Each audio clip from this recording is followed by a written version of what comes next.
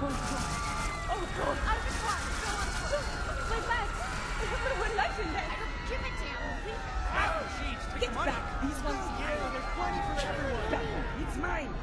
to your African Trust automated teller machine.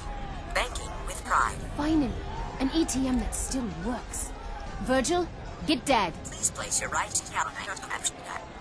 Sadie, where are you? Outside one of the casinos, down by the river.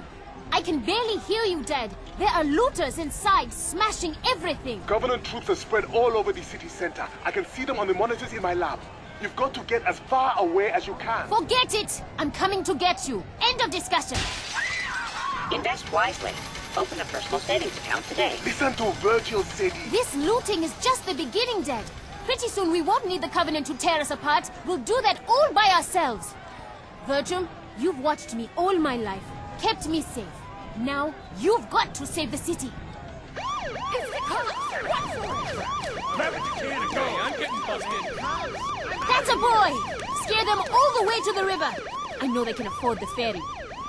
Dad, can Vergil track the Covenant as they move? Stream positional data to the UNSC? Yes, I might be able to reconfigure his traffic congestion cameras to isolate known Covenant vehicle profiles. Maybe the Argus sniffers can pick up their soldiers too.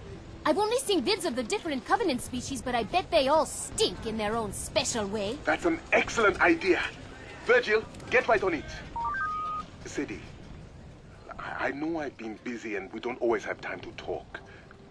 But sweetheart, you make me very, very proud.